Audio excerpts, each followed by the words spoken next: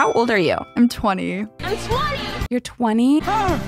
Yeah. I'll be 21 next month. How do you feel about turning 21? Kind of disappointed because I know it's the last birthday that you're like, woohoo, milestone. It is not the last birthday. I think everybody thinks that. You have so many more exciting birthdays to come. I also don't like how accessible everything is after you turn 21. Okay. Because there's a certain level of like, oh, this is so risky what we're doing right now. This is so fun because The we're not allowed to be doing this. Yeah, yeah, yeah. So then when you're allowed to be doing it, it's not as exciting anymore.